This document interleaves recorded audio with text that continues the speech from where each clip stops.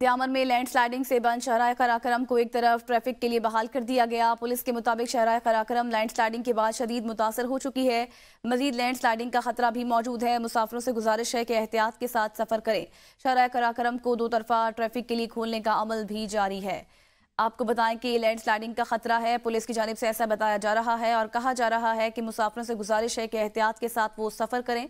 Police की जानब से ऐसी हिदायत पेश की जा रही है। दयामर में लैंड स्लाइडिंग से बंद शहरा कराक्रम को एक तरफ़ ट्रैफ़िक के लिए बहाल कर दिया गया है। इस मुतलिक तफसलत हासिल करेंगे अपने नुमाइंदे मोहम्मद अली खान से। मोहम्मद अली खान बताएगा अब क्या सूरत हाल है?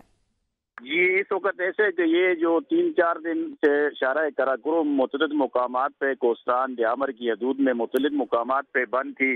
वो मुख्तलिफ़ जगहों पे मुसाफिर फंसे हुए थे। तो ये तीन दिन के बाद ये शारा आज जुजवी तौर पे वन वे ट्रैफ़िक के लिए बहाल कर दिया गया है और ट्रैफ़िक चल रही है क्योंकि लैंड स्लाइडिंग बहुत ज़्यादा हुई थी। इस वजह से इशारा को खोलने में काफ़ी टाइम लगा और अभी भी इशारा पे वन डबल वे करने के लिए शुक्रिया मोहम्मद अली खान इसमें